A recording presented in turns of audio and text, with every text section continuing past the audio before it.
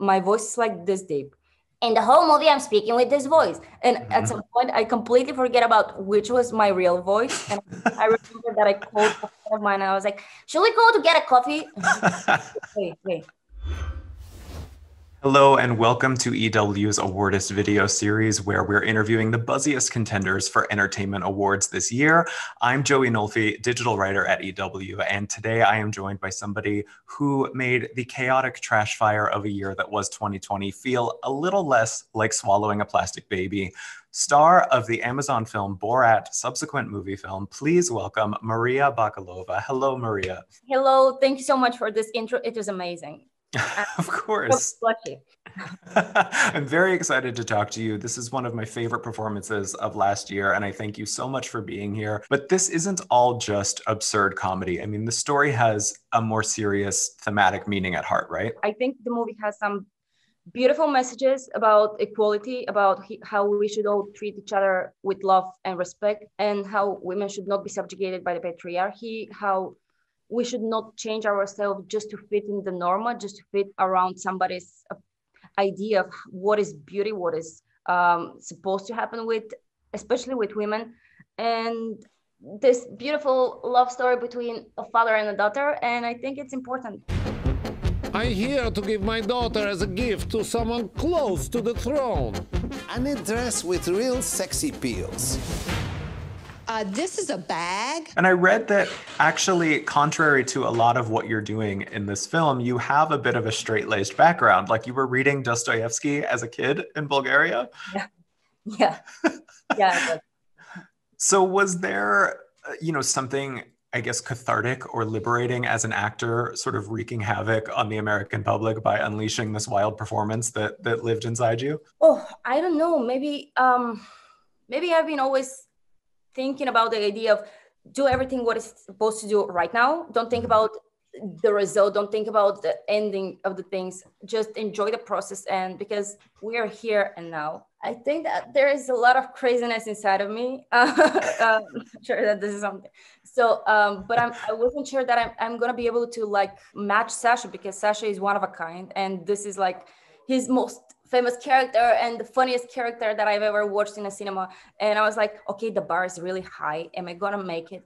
Is it gonna happen? So I wasn't sure. I mean, I, w- I knew that I'm gonna do whatever it takes to to do the scene or to to follow the script or to match Sacha, but how it it was going to look like at the end, I of course I wasn't sure. I think a lot of the film draws its comedy from these juxtapositions of the earnest approach to your character and these unsuspecting Americans that you guys meet along the way.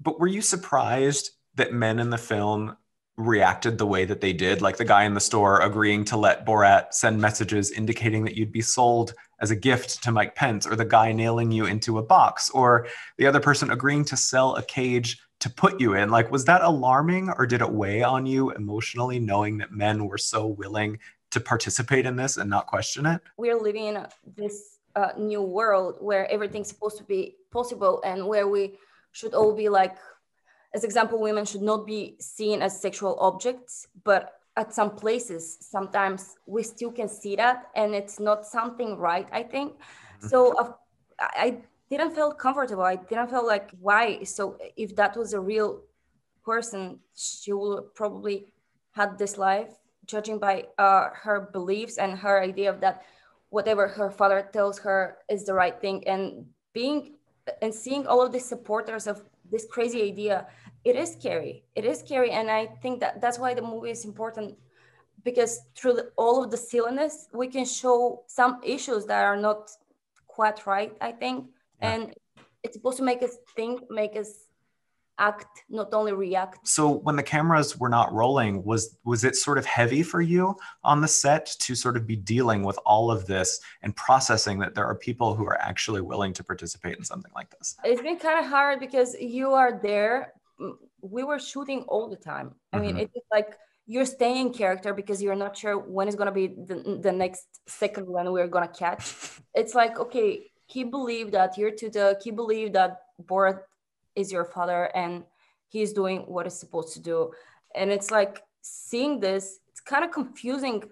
Is it something wrong with me? But because by seeing all of these people why why this is all around the world because it's not even only like in small countries uh, at the end of the world it, it's everywhere and it's mm. it, it is scary. So did you have to um, prep or or do any sort of training to to learn to sort of stay in character when filming with these real people? And and was there a particularly difficult moment for you to get through without breaking character?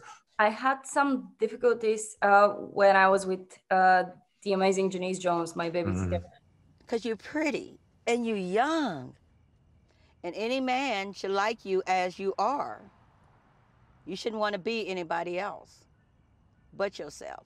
But if I have enormous titties, I don't have to learn how to swim. Your, your titties will not keep you from drowning. The, the production had like a break, a lunch break, and they were supposed to take me with them, but something happened and I just stayed with her the entire time. And I was like, okay, okay, okay, because something inside of me was like, this woman is such an angel. And I, I was like, should I keep trying to make her feel worried about Tutar? But I was like, okay, stay there, stay there. It's mm-hmm. gonna make uh, it's gonna make an impact on the world because we need examples like her. We need to. So I don't think we had a uh, like training, but I was trying to see as much as possible from Sacha and to learn from him because yeah. he was my mentor, my teacher, and he was like, when you think when you when you think that people are start getting suspicious or when you get uh, nervous or when you start laughing, just go deep inside the character and focus on what is the most important message of the scene. Mm-hmm. What are you gonna do uh, after that? How are you gonna go through this? And maybe Sacha trained me. I know that I personally would not have been able to keep it together during the Moonblood dance scene. Was that whole dance? Improvised or I, I can't believe that i'm even saying this. Was it choreographed beforehand? Yeah we worked with uh, the incredible um, uh, the incredible uh, choreograph uh, catherine burns. Mm-hmm. Uh, and she she taught us actually for a few lessons how to like uh, perform how to be I, I, don't know in, in the same moment because Sacha is that tall and I'm like in the middle of this. Mm. and he has longer uh, arms and legs and I'm like okay am I gonna do it? Plus I was like okay is this way or this way? So we trained with her and which I remember that we trained like five minutes before we went inside this, this bowl uh, and it was boiling hot. I was like basically couldn't stop uh, sweating because it was extremely hot and and we were with all of these clothes and Sacha was with the fat suit. Yeah. crazy. I mean, uh, let's let's just talk about it. The the liquid we will call it in that scene. I'm curious as to how you kept it hidden during the ball up to that point without it like leaking. Like, did you have to sneak into the bathroom to apply it before the dance or something? What what was the process with that? I, I mean, I think you know what is the weirdest part because I have like I've been had a, a black hole during this whole night because it's been so adrenalizing because uh, you have an you have a feeling that you're in the middle of hypnosis because mm. you're just going through this and it's like poof, black hole. After that nothing. So i think i had it over me the whole night and then keeping it somehow because i don't it, it was wet. It was i mean ugh well, I mean, what was it like in that room after the camera stopped rolling? Because I imagine because we see very briefly how people react to that in the moment, but when the camera stopped rolling, what was the atmosphere in that room like? I mean, the whole room was empty. People were like devastated. What just happened to us? Because I, I don't know. Maybe there was I don't know that that was their temperament, but everybody was like crying. Somebody were screaming, and we're like, there and there, I remember that there were two or three uh, younger from the young people that were still like, did that really happen today? After doing this movie, do you have a different opinion on American society and politics? To be honest, it doesn't even matter. Is it a small country or a huge uh, country like the United States of America? Uh, people are like that everywhere. We have good examples. Unfortunately, we have some that are not that good.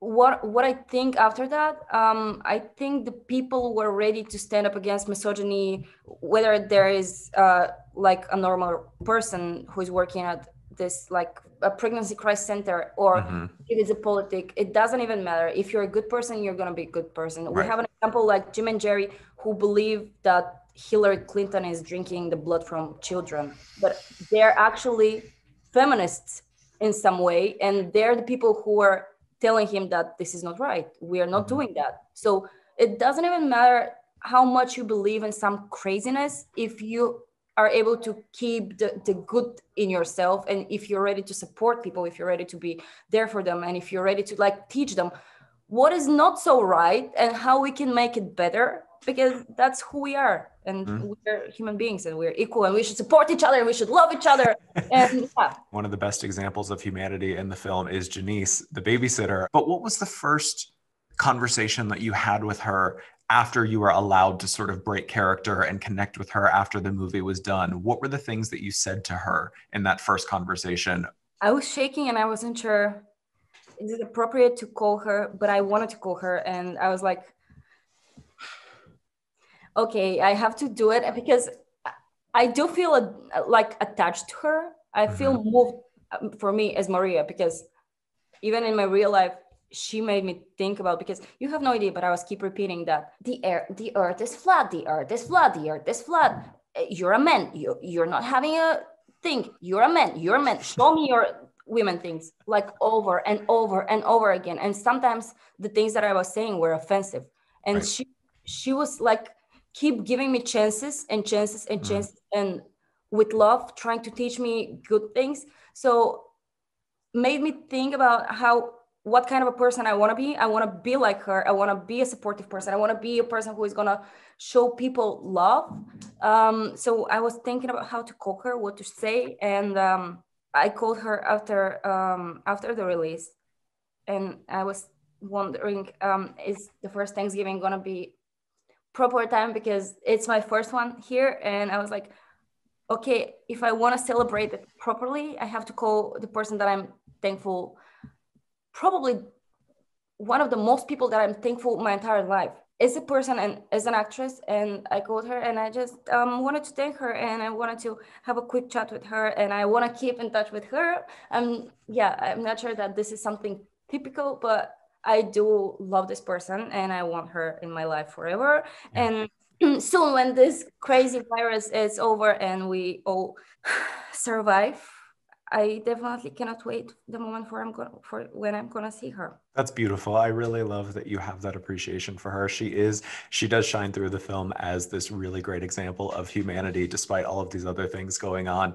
And I think that that is really a powerful contrast to uh, some of the things that happen later in the film, um, like the plot climaxes with this Rudy Giuliani interview where he appears to stick his hands down his pants when you're alone in the hotel room together. And we see footage of you doing other interviews throughout the film it in journalist mode. So did you actually have to go out and interview people like a real journalist to sort of gain credibility before his team agreed to do an interview with you? My first interview um, as a journalist was CPAC actually, uh, where I was interviewed by One American News, or I interviewed them, I don't remember. But that was probably the end of February. So like two weeks later, COVID happened and everything got shut down. And but by the middle of COVID, the first lockdown, I was doing Zoom interviews with different people, maybe every single day, sometimes twice a day. And I was like, okay, now I know who am I. I think I'm getting there. And that's probably was the way that we they created it. They established me as to believe in myself that I'm a journalist now, and or at least I want to be a journalist. One of this, one of the journalist uh, people. So yeah, So that scene, I think it does carry a certain amount of risk to it. I mean, you had to have anticipated that it would be a sort of controversial one. And I'm curious as to how you guys plan to approach that scene before filming and why you, as an actor and as a person, why did you feel compelled to go through with it and make sure that that scene happened and was just as ridiculous as it ended up being? it's kind of simple thing because at the beginning I knew that this movie is gonna be important. It's gonna catch a lot of people's eyes, uh, most of the people's eyes, uh, because it's crazy. Uh, it's like a how to say it. It's like a way of revolution. It's Mm. way of like we're gonna fight against misogyny we're gonna fight against uh, for equality um, so i was sure that people are kind of ready because we're living in this world and i i'm meeting people more and more and more every single day where they're like we we need equality we need diversity even in a cinema we need things that are gonna make us more united if that's the way to say it mm-hmm. so i wasn't that crazy surprised that people actually were like yeah that's that's something wrong. We, we have to change that. Were you surprised by what it appears Rudy is doing? Or did you feel uncomfortable throughout the interview? Were there certain signals that he was giving you that were making you feel like, oh, this guy is trying to do something during the interview or any time setting up for that? Was there any point where you were like, this is going to go in a route that, you know, that is creepy? I mean, I don't know. I don't want to say it out loud what I think the movie is out, and uh, that's why I believe the, the, the team released it at that moment of the year, and they had stronger messages than me about the American polit- political system. Because again, I'm not American. I'm I can more talk about the human side rather than the political mm-hmm. side, mm-hmm. and what I actually think is more like if what if I was a man, if I was a journalist would you start drinking with me in the middle of an interview will you come mm-hmm. with me in the bedroom and or now if i'm a female journalist should i be treated as a sexual object is mm-hmm. there supposed to be a difference maybe this is and this is more of a human behavior rather than a political thing because right not American. I've been here only for like two years. It is an improvised scene um, on both of your ends, but what was the plan going in? Was there a sort of framework that you and Sacha talked about as to how you were going to approach the interview and then escalate it afterwards into the, the bedroom? Or um, like, how did you guys approach that scene before actually filming it and what terms of what you wanted to do in that scene with Rudy? I knew that Sacha is gonna be in the room, like hidden in the closet for as long as it takes. We had an idea that it might be like super short. It might be like, okay, this is fake. Okay, this is crazy. Okay, you're trying to trick me, and to stop it or how to how to go from here from there.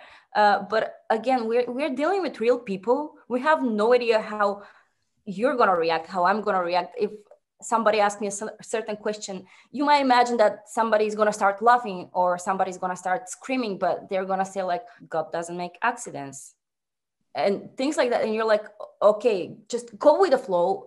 And maybe, maybe I was sure that we had an incredible security team that if something wrong started to happen, Sacha is going to jump in, yeah. he's going to save me first. And then uh, I'm going to run away and he's gonna run away and then from there the security is gonna handle everything uh, but thankfully we had again we had an incredible team we had an incredible producers like monica levinson and Ant Hines and all of the people behind i'm sorry that i'm mentioning some only two okay names. that's but all right everything was extremely legally so i wasn't that carried that something really bad is going to happen to mm-hmm. how difficult is it to do comedy like this it is difficult and i have to probably start there because um, my full background is only dramatic parts starting mm-hmm. from like teenage pregnancy to a teenager having a sexual affair with her real father or a teenager with a mental illness or teenager with food disabilities or teenager committing a suicide things like that and i was like okay the drama is the big thing now when i'm the first for the first time in a comedy and playing a funny character it's a multi-layered character. I can see that it's much more harder because you still have to act i mean this project even more because you're in the real world and you still have to be the the, the character not not not me. Um, but it's like you have the same the same feeling of how disappointed you feel how um, happy you feel but the, the problems are smaller and you, you have to make it believable somehow. Mm-hmm but at the same time it's like okay but we have a bunch of people that have no idea what is happening. We don't have like a person who is going to be like stop second take or boom or something like that. You have only one moment. So it's been difficult. It's been because from the first approaching of who is Tutar, uh, how she should speak like uh, my voice is like this deep in the whole movie i'm speaking with this voice. And mm-hmm. at some point i completely forget about which was my real voice. And i remember that i called a friend of mine and i was like should we go to get a coffee? Wait wait what is happening? And i was like and because the project was so confidential i wasn't even able to say that oh i'm playing this character that has this voice because she's 16 years old. And even in the way that Tutar is speaking she's speaking uh, Borat is speaking Hebrew with uh, a few Polish words. Today speaking Bulgarian with also a few Polish words. Uh, and we have um, who is the Romanian actor. And these are like mix of different languages. Uh, we've been like rehearsing in English. And that was the moment where, where, the incredible Jason was joining and he was like, we're going to push this scene. We're going to put this moment here. So we've been like rehearsing in English, working in front of the people in two different languages. But even in the languages, uh, even in Bulgarian, when is speaking, in the beginning, she's speaking with more influenced uh, version of Romani language because mm-hmm. I'm pressing more the letters ha and a, and it's like mm where at the end she's like tate tate and it's like softer and with the english also and the way that they're walking because it's everything. You have to create this character and you have to create it believable but at the same time it's like over the top. It's hyperbolized. I've always wanted to play characters that are showing how strong women are and how we can overcome anything. So and having an important message like um, like the triumph of the human spirit and the support and the equality between us and how we we should love we should be loved i think the little prince said that and how we should dream because art can make an influence on the real world. And through entertaining if we're able to make people think make make them some kind of better version of themselves it's something powerful it's something important it's something that makes the most sense to me. And i want to be part of some project that um, are important, that have strong messages that can make an impact on the world and to make the world a better place. Well, we certainly look forward to your career ahead and we are pulling for you for an Oscar nomination. But for now, Maria, that's all I have for you. Thank you so much for being here with me today. You have been so lovely. Thank you so much. Of course. Bye-bye. Bye.